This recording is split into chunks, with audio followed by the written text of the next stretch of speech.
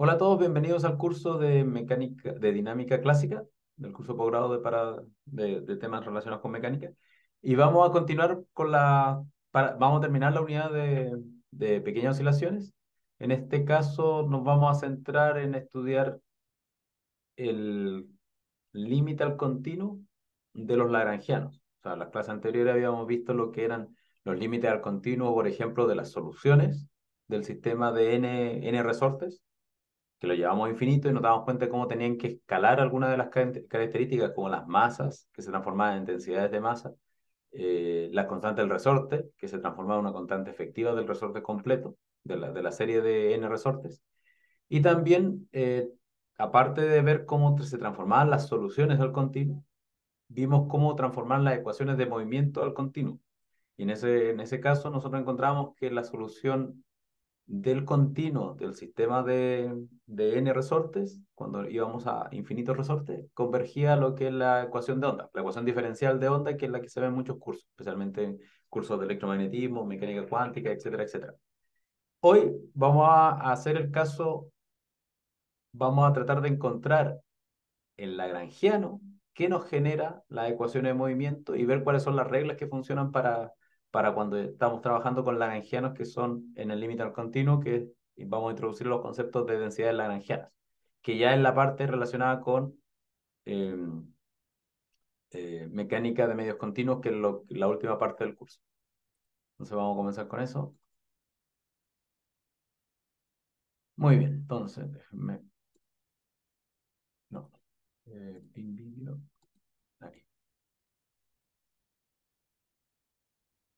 Muy bien, entonces como les decía, vamos a ver lo que le estaba recién comentando. Entonces, volviendo de nuevo a nuestro sistema que hemos usado en toda esta unidad como para ejemplificar el límite al continuo, que es la cadena de n resortes acoplados, donde en cada, en cada punto, o en el punto, digamos que los puntos de equilibrio son donde los resortes se encuentran a distancia A, uno con respecto al otro, o sea, las masas que están clavadas en, en los extremos de los resortes, están todos a distancia A, y en base a eso lo que hicimos al inicio fue desarrollar el, el encontrar el lagrangiano de pequeñas oscilaciones y el, en el caso del, de este sistema de n resortes acoplados, el lagrangiano en el límite de pequeñas oscilaciones tiene esta forma. Como ya pueden identificar, está relacionado con la energía cinética que tienen las perturbaciones, donde estas son las perturbaciones con respecto a los puntos de equilibrio. Esto tiene que ver con la energía cinética del sistema mientras que esta parte que está acá está relacionado con la energía potencial del sistema en el límite de medios continuos, que básicamente nos dice que es la energía potencial del resorte,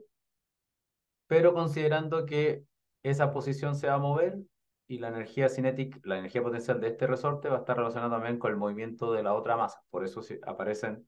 la perturbación n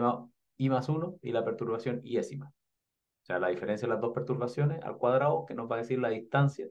de la, del, la distancia que fija la energía potencial de ese segmento de resorte. Entonces, en este caso, nosotros habíamos estudiado las soluciones de la ecuación, o sea, la ecuación de movimiento que salen de este lagrangiano, eh, habíamos descubierto lo que eran los modos normales, los, la matriz modal, etcétera, etcétera, etcétera, un montón de cosas. Y después hicimos el caso de n yendo a un número arbitrario y posteriormente en la clase anterior hicimos que n tendiese a infinito. Entonces, uno de, las, de los puntos importantes cuando se va al límite del continuo es saber las reglas de, escala, de, escalamiento que tienen o que sufren las constantes del sistema, para tener un sistema que sea compatible y que tenga un, un, un sentido físico igual o similar al problema original, al problema discreto de, de resortes. Entonces, en, este caso, si se acuerdan, el límite al continuo lo definíamos llevando el número de, de masas a infinito y tendiendo la distancia de los puntos de equilibrio donde se encuentran cada una de estas masas clavadas, o sea, conectadas, a cero. Eso implicaba que para tener un sistema que tuviera sentido físico, donde por ejemplo estos dos muros se mantuviesen a la misma distancia, necesitábamos que la distancia total, que es L, que hay entre muro y muro, tuviese una relación tipo n más 1 por A. en el sentido de que cuando n se va a infinito y a se va a cero, esta cantidad converge a un número conocido que es L, la distancia física que hay entre los dos muros que nos separan a la cadena de resortes. Por otro lado, el hecho de que al achicar A las masas se empiecen a acercar y mantengamos la misma cantidad de masa total que tenga el sistema, eh, eso va a implicar que vamos a tener que introducir una noción de densidad lineal de masa, que básicamente significa que a cada una de las masas pequeñas las vamos a dividir por A, de tal manera que la densidad es una cantidad que es constante. Eh, eh, ¿Tú tienes una pregunta, José? Eh, profesor, ¿me puede aceptar en la clase? Estoy esperando como hace un ratito. Ya, espera. Pero en principio tú te puedes conectar en cualquier momento. No, no está la... No hay una, una, ¿cómo se llama? La espera. No está la sala, la sala de espera. Sí, ahí está entrando, profe. Bueno, entonces, eh, vamos a cerrar esto. Ahí sí. Ahí lo quité. Ya. Entonces, como les decía, la densidad de masa es súper importante para que el sistema sea, se comporte de forma regular. Y por otro lado, cómo rescala la constante del resorte para que el sistema también tenga sentido. Si se acuerdan lo que habíamos hablado en la última clase, que cuando tenemos resortes que se encuentran en series, de forma uno conectado con el siguiente, etcétera, etcétera, etcétera, las constantes del resorte se, efectiva, la que resulta del sistema, es la suma de los inversos de, los, de las constantes del resorte. Entonces, de tal manera que para que nos vamos al límite cuando tenemos n más un resortes, la forma de encontrar la constante del resorte es sumando sus inversos. Que en este caso, al, darlo vuelta de nuevo, nos queda de esta forma. Bien. Entonces, si queremos hacer el límite al continuo del lagrangiano, lo primero que tenemos que hacer es adaptar el lagrangiano, en, que depende de, de, los n, de las n masas, a una forma que sea más compatible para que sea más sencillo tomar el límite al continuo. Entonces, por ejemplo, si tenemos lagrangiano original, que es este que está acá, una de las cosas importantes es que ya en el límite al continuo la masa pierde sentido porque necesitamos utilizar lo que es la densidad lineal de masa y lo mismo pasa con la constante del resorte. De tal manera que si hacemos el, ejercicio rápido, eh, ¿dónde el, Aquí está el journal. Si hacemos el ejercicio rápido de, de, revisar esto, tenemos que el lagrangiano, bueno, era la suma sobre i de un medio de m eta punto al cuadrado, y ésimo, menos eh, capa medios, la suma de eta i más 1 menos eta i, todo eso al cuadrado. Y ese es el lagrangiano eh, de términos constantes. O sea, el, el, el, discreto para n cuerpos, pero queremos el límite al continuo. Entonces, por ejemplo, las masas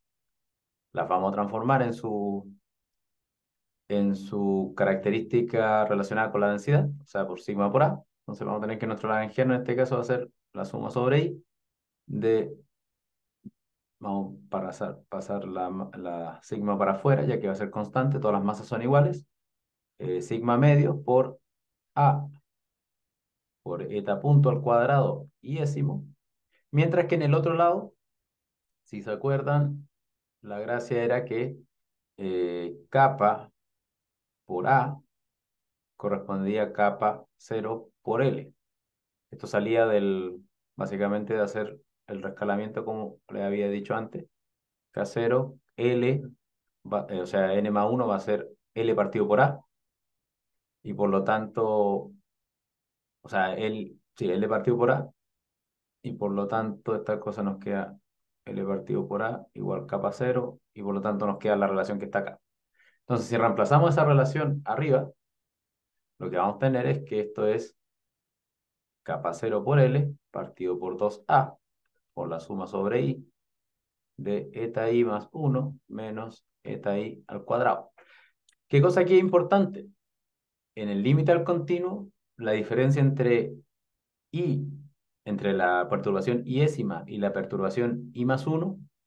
eh, cada vez está más cerca, espacialmente hablando, y también porque cuando nos vamos al límite al continuo significa que el n o el número de masas crece a infinito. Entonces, esta cantidad la tenemos que rescalar de una forma eh, pertinente. Entonces, por ejemplo, si simplemente eh, introducimos un término a cuadrado para un término a, eso más i menos eta, agregamos un a, si lo elevamos al cuadrado, tenemos que introducir arriba un término a cuadrado por fuera, para que esto quede exactamente igual a esto que está acá.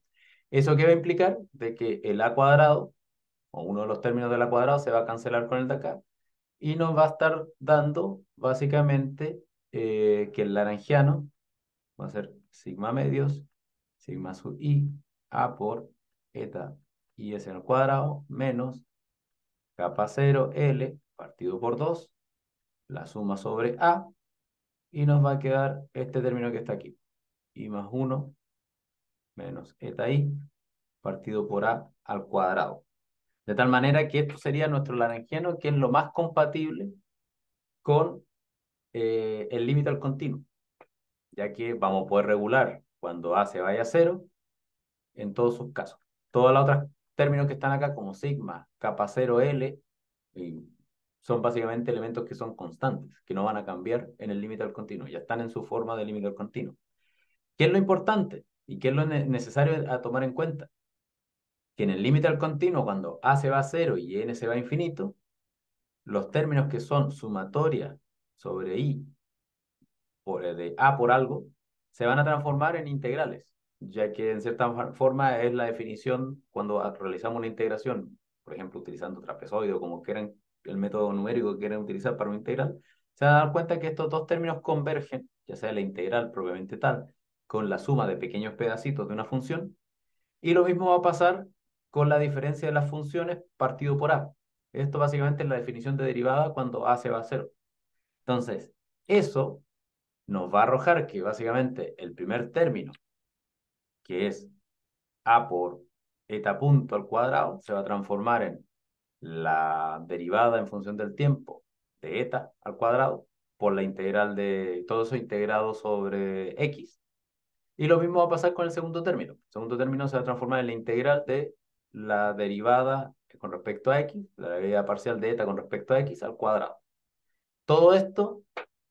nos está entregando lo que sería el lagrangiano en el límite al continuo. O sea, el lagrangiano de nuestro, de nuestro sistema de, de n resortes que hemos llevado n a infinito. Y las distancias entre, entre los resortes se han hecho cada vez más pequeñas, se han hecho cero. Esto es súper importante porque este lagrangiano nos va a empezar a entregar nueva información, que es lo que antes no, no usualmente no podemos tener desde el sistema eh, discreto. Entonces, por ejemplo, vamos a poder conocer cuál es la energía cinética de nuestro sistema, que va a estar asociado básicamente a las derivadas en función del tiempo al cuadrado de las perturbaciones. Ahora las perturbaciones ya dejan de ser perturbaciones discretas que están asociadas con cada masa, sino que una perturbación continua que depende de los puntos del espacio y los puntos del tiempo. Y eso nos va a entregar la información de cuánto es la energía cinética que está llevando el sistema en un instante determinado. Lo mismo va a pasar con, con el potencial. La energía potencial, sin el menos, va a estar asociado también pero en este caso a las perturbaciones o a las derivadas de las perturbaciones en función del tiempo o en función del espacio, a las derivadas en función del espacio de las perturbaciones. Esto es una cosa importante porque ahora el, concepto de perturbación ya no es en el caso como lo veíamos al, inicio del curso, donde cada perturbación o cada coordenada generalizada era discreta. Ahora tenemos un continuo de, de coordenadas generalizadas y por lo tanto nuestra variable o nuestra coordenada eta, al ser dependiente de x y de t, se transforma en un campo. En un campo del, mismo sentido que pueden ver en otros cursos. Entonces, en el, sentido que va a ser un objeto que va a poder contener energía y se va a poder propagar por el espacio y por el tiempo. Muy bien, entonces, con este lagrangiano y con sus características que son la energía cinética y la energía potencial descritas de esta forma, podemos también revisitar antiguos conceptos como, como lo que son las coordenadas normales. Y en este caso, las coordenadas normales en el contexto de sistemas eh, continuos, podemos intentar, o lo que vamos a utilizar, va a ser la, la solución que ya sabíamos del límite cuando n no era infinito, o sea, cuando era el límite discreto, pero para n grande. De tal manera que lo que nosotros esperaríamos es que el campo eta de x, t va a ser una superposición de distintos términos. Por un lado, las soluciones normales a la evolución espacial de la ecuación, lo que vimos en la clase anterior, que, que básicamente eh, satisfacen la ecuación que la segunda derivada sea igual a menos k en el cuadrado por rho de n. Y por otro lado, toda la dependencia que tiene que ver con la parte temporal, la evolución temporal, que son las funciones z de n. En este caso, como es una superposición, vamos a estar trabajando con la suma sobre todos los posibles estados que existan en el sistema. En este caso, estados discretos n de, n igual 1 hasta, hasta un n grande o hasta un n infinito, ya que es lo que eh, vimos en la clase anterior, el, hecho de que exista una, una cadena de resortes amarrada entre dos eh, muros, donde tenemos condiciones de borde, eso nos va a discretizar las frecuencias que son normales al sistema. Solamente van a existir un número discreto pero infinito de frecuencias fundamentales que tenga el sistema. Entonces, en este caso, estamos aplicando la solución para n, promoviéndola y viendo si nos va a funcionar como la solución al continuo de nuestro, de nuestro sistema. Entonces, en este caso, ya aquí estamos volviendo a visitar lo que eran las coordenadas normales, que eran las mejores coordenadas de nuestro sistema. Cuando lo veíamos en el caso de pequeñas oscilaciones, cuando lo vimos para el caso de n, y ahora lo queremos ver si las coordenadas normales son las mejores coordenadas para el sistema en, en el límite al continuo. Y por otro lado teníamos las funciones que eran las soluciones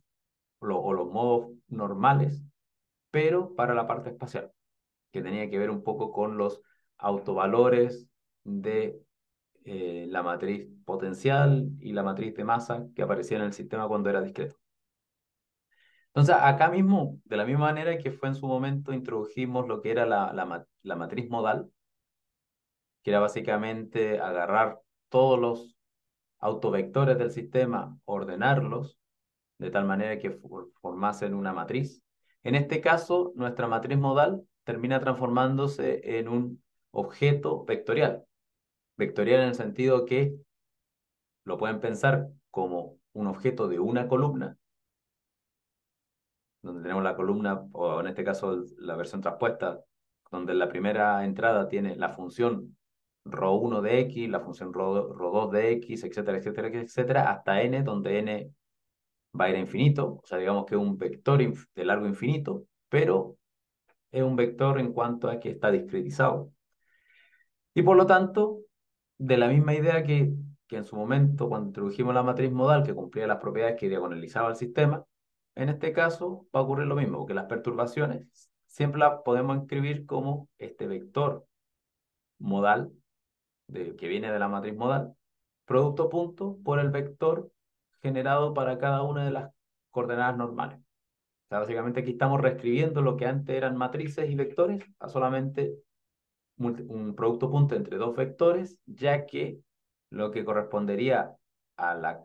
otra columna de la matriz modal ahora es una, un objeto continuo, es una función que depende de la posición. Muy bien. Entonces, ¿qué, qué,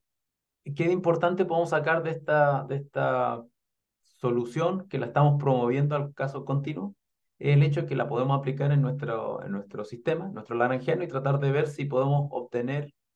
las características que hacían tan bonitas las coordenadas normales con respecto a otro set de coordenadas generalizadas. Entonces, por ejemplo, el, los modos fundamentales, o sea, los modos normales, los que dependen espacialmente de, que son solución de la parte espacial de nuestro sistema, tienen que cumplir ciertas condiciones. En el caso discreto, si se acuerdan, tenían que ser ortonormales a la matriz de masa y además tenían que diagonalizar a la matriz potencial para que nos dieran las frecuencias fundamentales. Entonces, en este caso, las condiciones que cumplen los modos normales, un poco, en parte lo vimos en la clase anterior, el hecho de que tienen que satisfacer lo que son las condiciones de borde, que para nuestro sistema son que cuando x vale 0 o cuando x vale l, eh, los valores de, aquí me falta un n, los valores de, de estos modos normales para cualquier valor de n, para cualquier modo, siempre nos tienen que dar cero, ya que nuestro sistema de resortes está enclavado en estos dos muros, no se pueden mover esos puntos, o sea, el punto con x igual 0 y el, punto con x igual a l, de tal manera que eh, una primera condición va a ser esto que está acá, las condiciones de borde de nuestro sistema. Por otro lado, les vamos a pedir que nuestras funciones, nuestros modos normales, sean ortonormales, en el sentido de que cuando los integremos sobre la región del espacio en los cuales eh, son solución, ellos tienen que ser ortogonales, ortonormales entre ellos, en el sentido de que eh, si integramos ρ cuadrado para un m cualquiera, nos tiene que entregar 1, y si m y n son distintos, nos tienen que dar 0. O sea, básicamente nos tienen que dar una matriz de identidad para los distintos modos mn. Esto es lo que básicamente eh, nos indica de que las funciones ρ sub n están formando un espacio de funciones. Y eso ya lo han visto en otros cursos como mecánica cuántica, electromagnetismo, etcétera, etcétera, etcétera. Esto es un, objeto que es común a muchas funciones especiales, donde las funciones especiales en parte vienen definidas por las geometrías en las cuales se están resolviendo un problema en particular. Si son esférico armónicos, polinomio de Legendre o, o series de Fourier, etcétera, etcétera, funciones trigonométricas van a cumplir la, una relación de ortonormalidad y aparte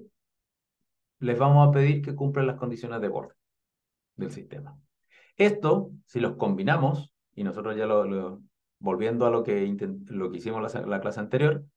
eh, implica que los modos normales tienen que satisfacer primero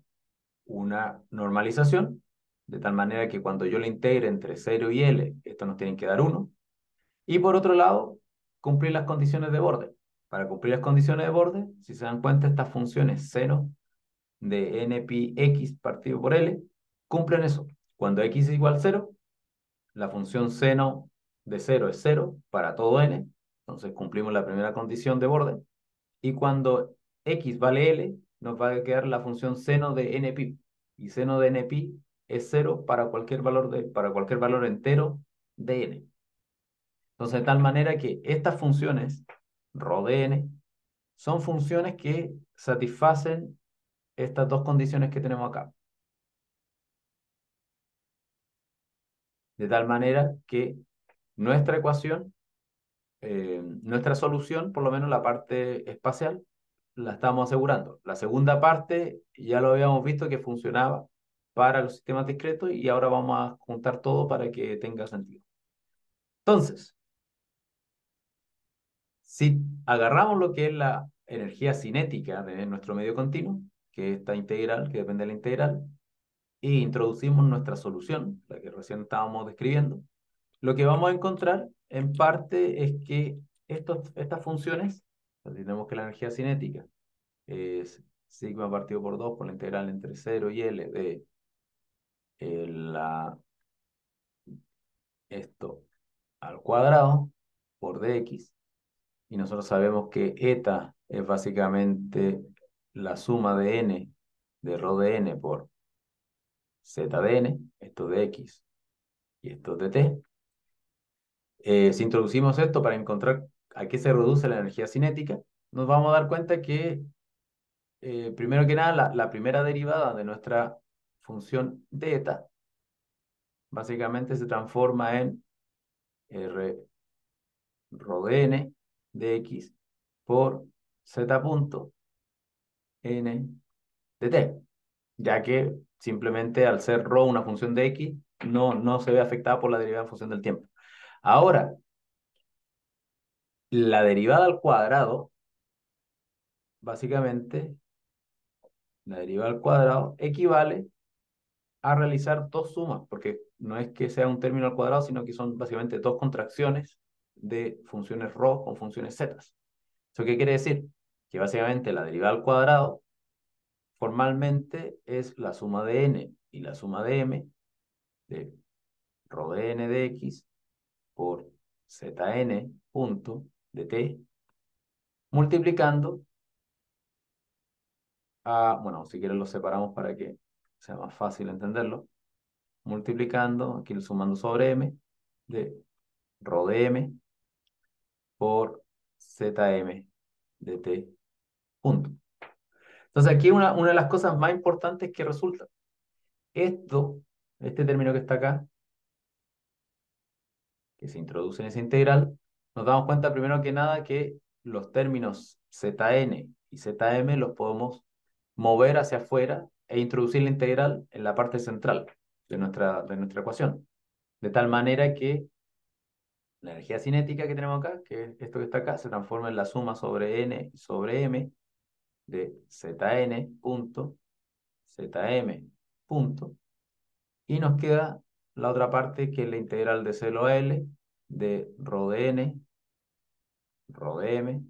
de x. Y si se acuerdan, esto es la parte de la relación de ortonormalidad que sufren, que tienen las funciones que son soluciones de las partes espaciales, que es el problema de autovalores de las partes espaciales.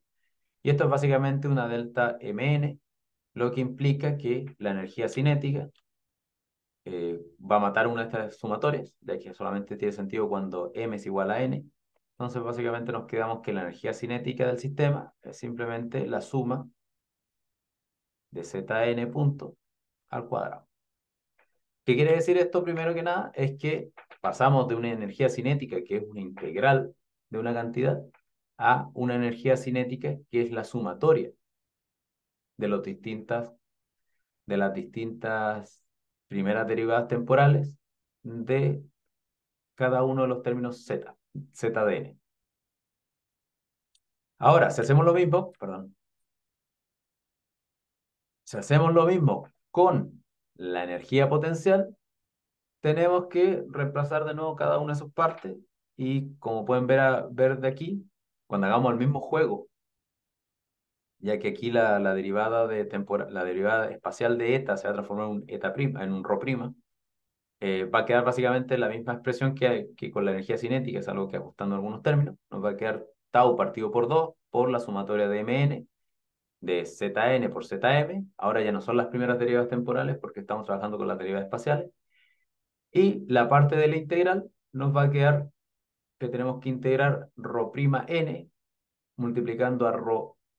m integrado sobre entre 0 y 1, entre 0 y L, que es el largo de nuestro resorte. Entonces, viendo eso, eh, nos vamos a topar con que tenemos que lidiar con algunas cosas. Entonces, digamos que el potencial era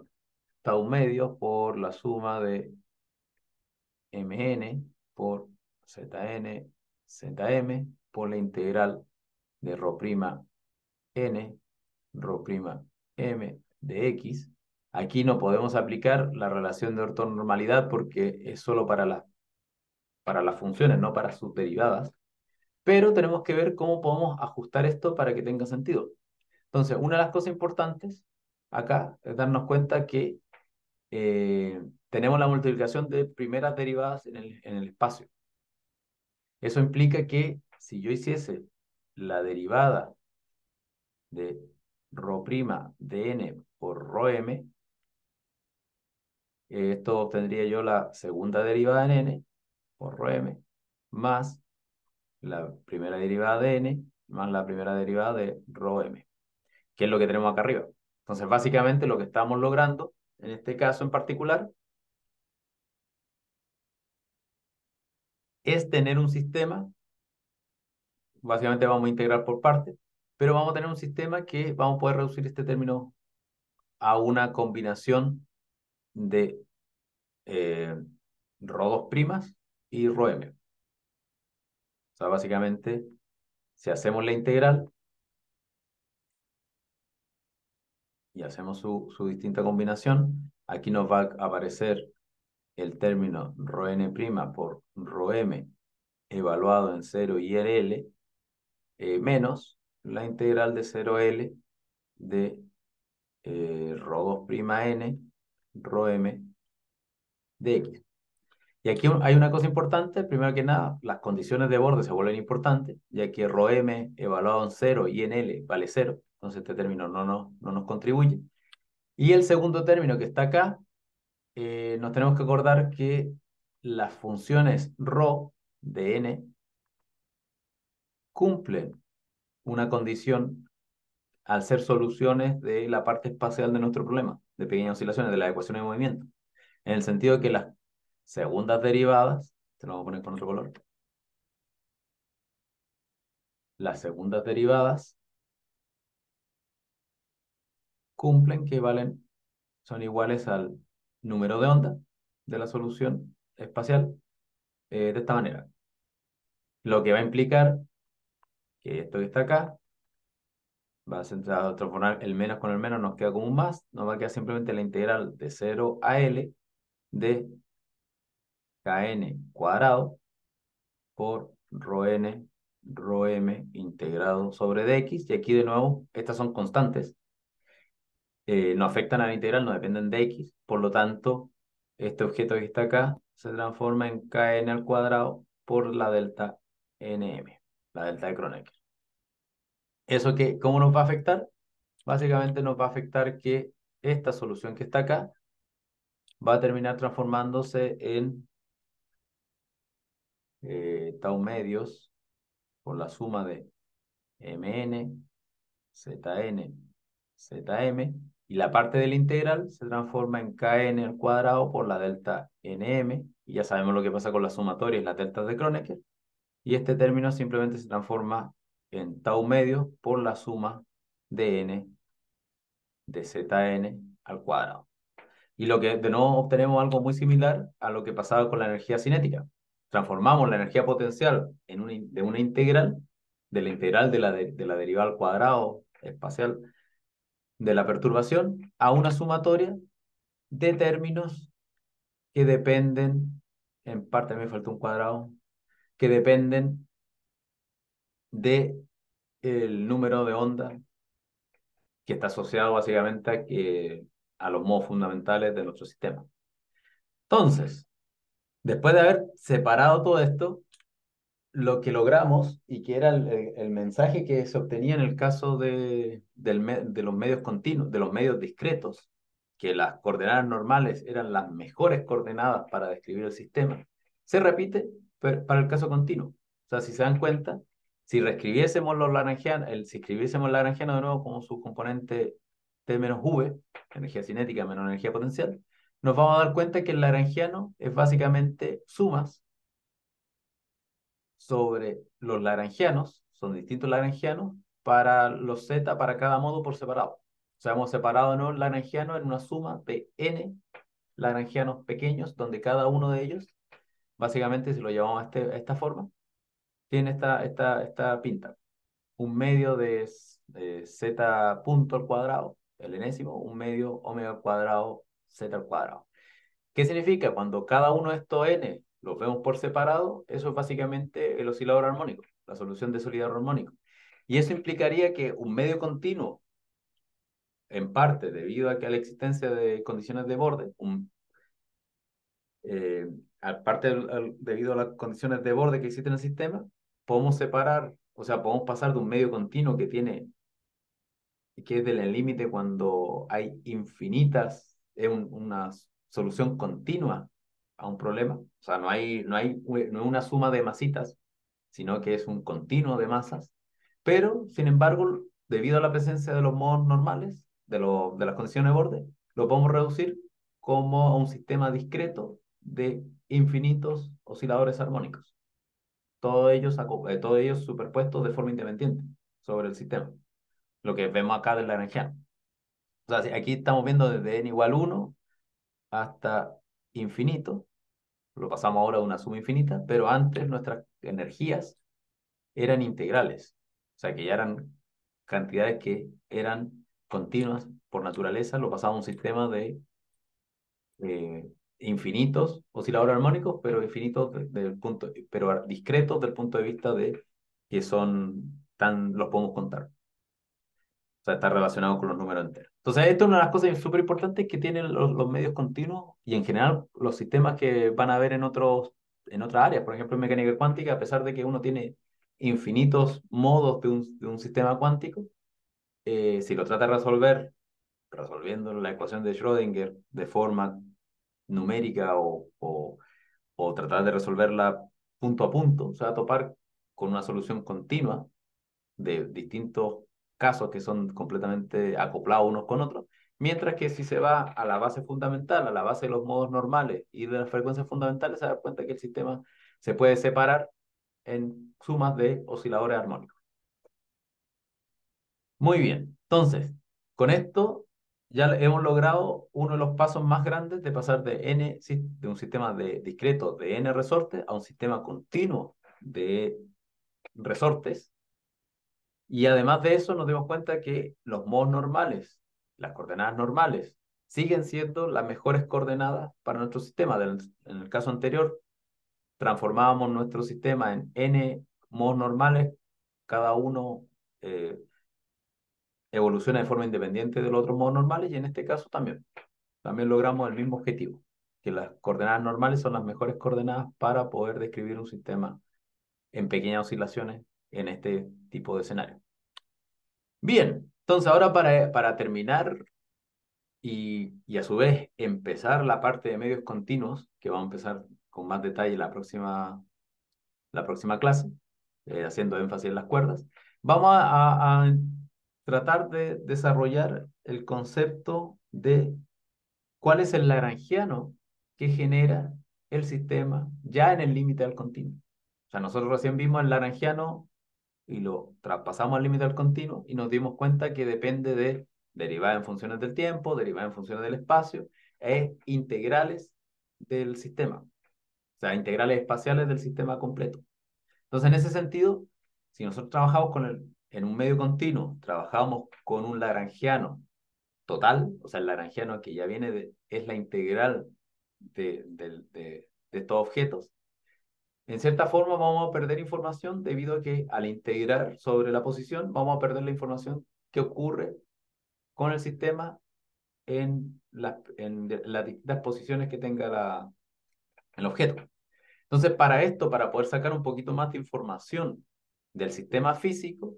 en vez de trabajar con el lagrangiano probablemente tal, con el lagrangiano que es la suma de la energía cinética y la suma de la energía potencial,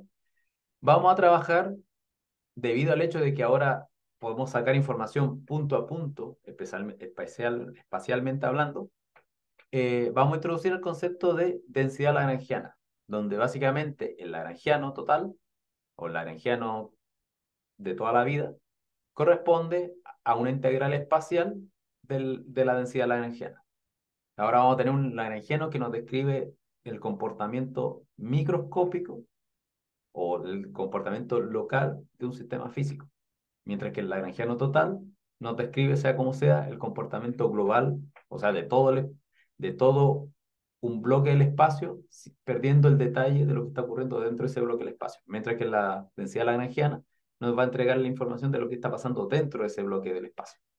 Entonces, Volviendo al laranjiano que habíamos visto al inicio, cuando nosotros definimos que el laranjiano estándar es la integral espacial de la densidad lagrangiana, nosotros ya podríamos identificar que en el problema de los resortes, como el lagrangiano total era la integral en función del espacio, este de no va en función sobre una cantidad integrada sobre el espacio, ya podemos identificar que esta parte que está acá va a corresponder a la densidad lagrangiana del sistema, de los resortes o de una cuerda o cualquier sistema físico que quieran describir. Entonces, si se dan cuenta, acá el lagrangiano depende de dos cantidades principales, la derivada en función del tiempo, eta, y la derivada en función del espacio. Pero del punto de vista más general, un lagrangiano o una densidad lagrangiana va a depender en principio de cinco cantidades. Cinco, digamos, las mínimas. Las mínimas de forma general en una dimensión espacial con una dimensión temporal, nos vamos a topar de que una densidad lagrangiana va a poder depender del campo eta, de la perturbación, de las derivadas temporales de la perturbación, de las derivadas espaciales de las perturbaciones de la posición y del tiempo. Dependiendo si depende de, de la posición o del tiempo, o si no depende de ellas, vamos a poder saber si el sistema es un sistema conservativo o un sistema conservativo pensando en otras características, ya que el hecho de que la densidad lagrangiana ahora incluye la información de las variaciones espaciales de, de nuestras perturbaciones, vamos a poder desarrollar otro tipo de conceptos. Por ejemplo, el, cuando uno habla en medios continuos y en la densidad lagrangiana, etcétera, etcétera, van a aparecer los primeros indicios de conceptos de, que están relacionados con la simetría de un sistema. Lo que se conoce a veces como el teorema de Nether, que nos va a permitir darnos cuenta que si nuestro laranjiano o nuestro sistema podemos hacer traslaciones espaciales, o sea, traslaciones temporales, vamos a estar asociados con la conservación de la energía. Si podemos hacer traslaciones en el espacio sin alterar el sistema, va a significar conservación del momentum lineal. Y si podemos hacer rotación en el sistema, conservación del momento angular. Y es más, si podemos hacer transformaciones que nos mezclen espacio en tiempo, también vamos a poder escribir el lagrangiano que va a ser eh, invariante ante transformaciones de Lorentz, o sea, transformaciones relativas especiales, etcétera, etcétera. Todo esto gracias al hecho de que pudimos introducir el concepto de densidad lagrangiana. Antes, cuando tenemos el lagrangiano discreto, perdemos muchas de esas propiedades que son más difíciles de visualizar. Muy bien, entonces, eh, el hecho de que un lagrangiano desde el punto de vista general depende de todas ellas, significa que eh, si queremos encontrar la ecuación en movimiento, vamos a tener que considerar que ahora nuestras,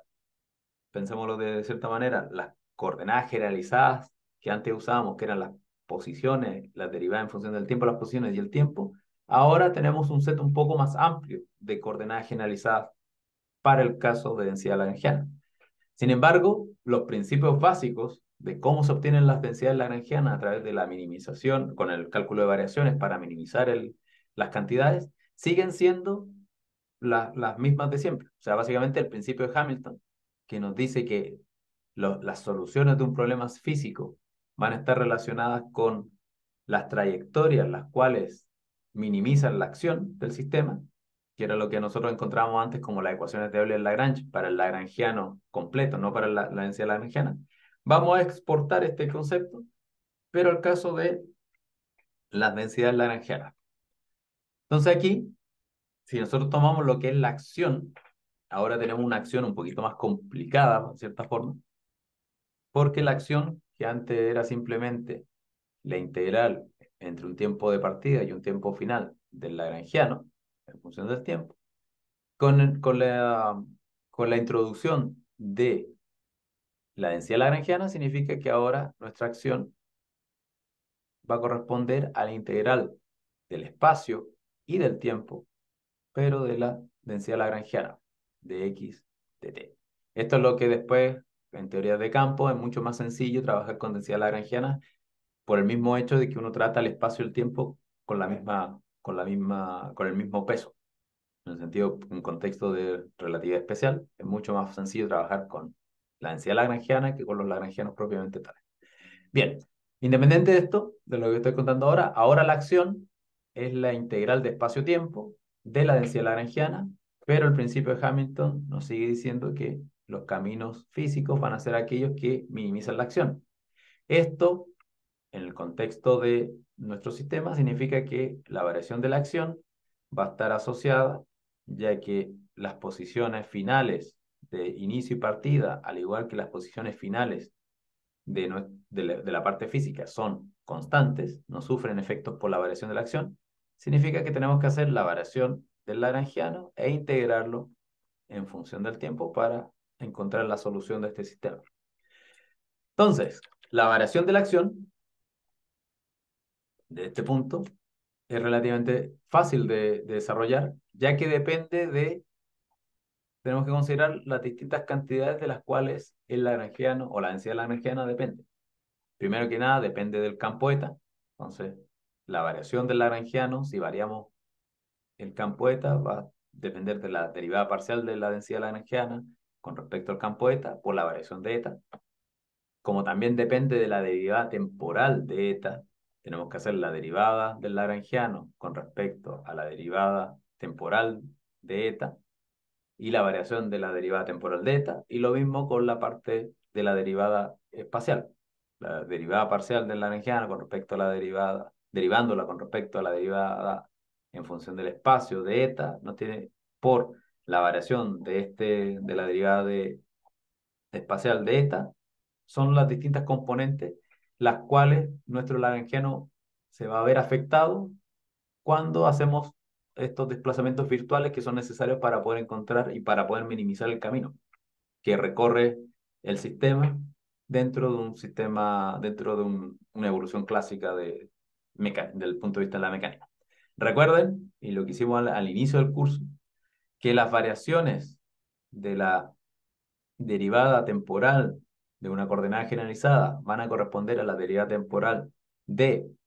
la variación de la coordenada generalizada, en este caso el campo eta, lo mismo ya sea para el tiempo y lo mismo para el espacio. ¿Esto qué nos va a permitir? En parte, nos va a permitir que eh, las, las variaciones del lagrangiano con respecto a la parte espacial, temporal, perdón, debido al hecho de que este término ya no es la, la variación de dt eta, sino que ahora es la derivada eh, temporal de la variación de eta, nos va a permitir construir una derivada total. O sea, básicamente estamos pensando en lo mismo que hicimos en su momento con la ecuación de Euler-Lagrange para el caso discreto, pero pensando en, en que eventualmente vamos a generar una integración, una derivada total, que se va a hacer a cero debido a la integral en espacio-tiempo. Entonces, en este caso, este el primer término, este que está acá, lo vamos a poder reescribir como una derivada total en función del tiempo, de, de L de la derivada del lagrangiano con respecto a la derivada de eta por delta eta, menos el otro término que es la derivada solamente del lagrangiano con respecto a la derivada de t de eta por delta eta. Lo mismo, exactamente el mismo procedimiento para la coordenada, para la derivada en función del espacio. Y, pero lo bueno de esto es que como la como la acción, sea como sea, es, o la variación de la acción, es la integral espacio-temporal de la variación del lagrangiano, de la densidad lagrangiana, esto va a implicar que los términos, cuando los integremos en función de, de, x y de t, estos términos que son la derivada total temporal o la derivada total espacial, en la, versión espacial, eh, van a ser simplemente cero porque lo estamos evaluando en los extremos. Y si se acuerdan, en los extremos, nuestras condiciones de borde originales para nuestro sistema eran que eh, en principio son cero, por un lado, pero también bajo los desplazamientos virtuales, cuando vimos las ecuaciones de Euler-Lagrange, eh, no hacemos desplazamientos sobre los puntos extremos de nuestro sistema. O sea, sobre, la posición, sobre las posiciones temporales ni por, sobre las posiciones espaciales. No hacemos variaciones en ese punto. Entonces, por lo tanto, todos estos términos van a ser cero. ¿Qué va a significar acá? En este caso, simplemente nos va a indicar que eh, las integrales de los términos que sean derivadas parciales con respecto a la derivada espacial o temporal de eta, simplemente nos van a tirar a que son las derivadas, las integrales de la derivada temporal de la derivada del laranjiano por delta eta, todo eso con los términos de ahí del, del integrando. ¿ya? De tal manera que si juntamos cada una de estas tres partes, o sea, la parte que está relacionada con la derivada parcial de eta, con la derivada parcial de la derivada en función del tiempo de eta, de la derivada parcial de la derivada en función del espacio de eta, esos tres términos, los términos que están relacionados con las derivadas temporal y derivada espacial van a tener un signo menos. Y por lo tanto, lo que vamos a obtener es que la variación de la acción bajo eh, este nuevo escenario, que es la densidad lagrangiana, nos va a dejar esto que está acá,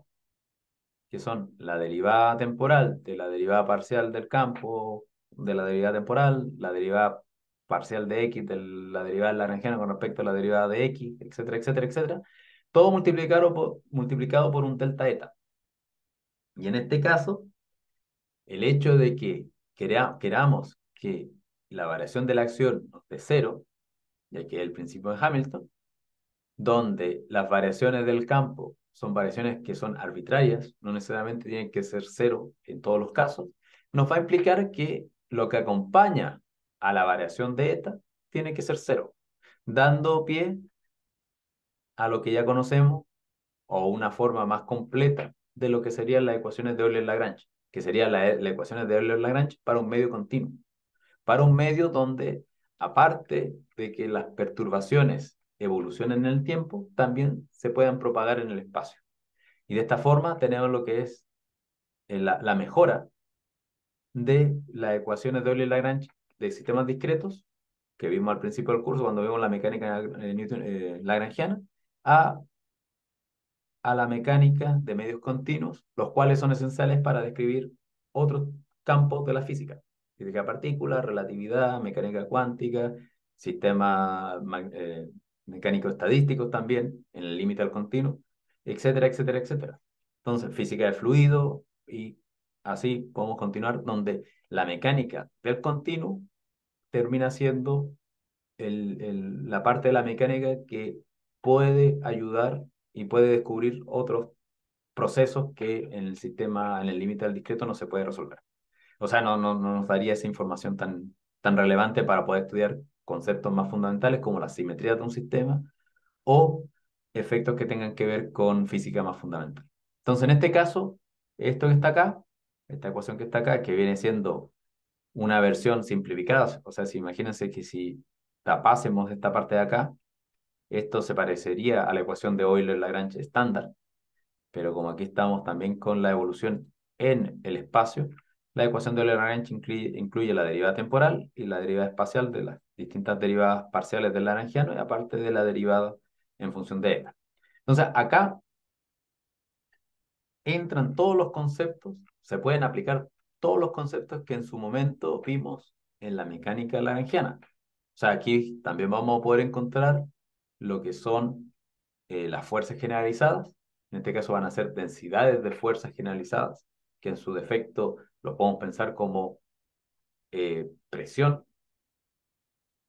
eh, generalizada, ya que van a ser densidades en su, en, su, en su naturaleza, y de tal manera que otro tipo de fenómenos más microscópicos los vamos a poder describir sin ningún problema. Muy bien, entonces, para ir terminando, para cerrar esta parte de pequeñas oscilaciones y dar pie a la parte de medios continuos, que aunque por, el, por las distintas clases que nos quedan vamos a alcanzar a ver los medios continuos solamente en una dimensión, al nivel de las cuerdas, eh, vamos a hacer un pequeño ejercicio antes de pasar a eso, la próxima clase, que es básicamente encontrar una ecuación de movimiento para un lagrangiano o una densidad lagrangiana que conocemos. Entonces aquí tomando de nuevo nuestra densidad lagrangiana de la, del sistema de, de, de, resortes, de la cadena de resortes, que también el mismo lagrangiano para una cuerda, nosotros tenemos que esta densidad lagrangiana es la densidad de masa, eh, un medio de la densidad de masa por la derivada en función del tiempo de eta al cuadrado menos tau, que está relacionado ya sea con la tensión de la cuerda o con la constante del resorte efectiva por la longitud de la cadena de resorte, por la derivada al cuadrado, de la derivada espacial al cuadrado de la función eta, del campo eta. Entonces, si a este lagrangiano le aplicamos lo que son las ecuaciones de Euler-Lagrange al continuo, necesitamos primero que nada hacer la derivada del lagrangiano, la derivada parcial del lagrangiano con respecto a la derivada temporal del campo eta, y el único término donde eso aparece es este punto, entonces aquí si hacemos la derivada, este 2 pasa por acá, se nos, cancela el 2 y nos va a quedar básicamente sigma por la derivada del, de la derivada en función de, del tiempo de eta. Y cuando lo volvamos a derivar, simplemente nos va a quedar un sigma por la segunda derivada en función del tiempo de eta. Por otro lado, cuando hagamos la segunda derivada, o sea, la derivada en función de este término que está acá, en función de la derivada parcial de x, eh, va a aparecer lo mismo, pero con un signo menos. Aquí tenemos un signo menos acá. Y nos va a quedar menos tau, la segunda derivada parcial de función de x por eta.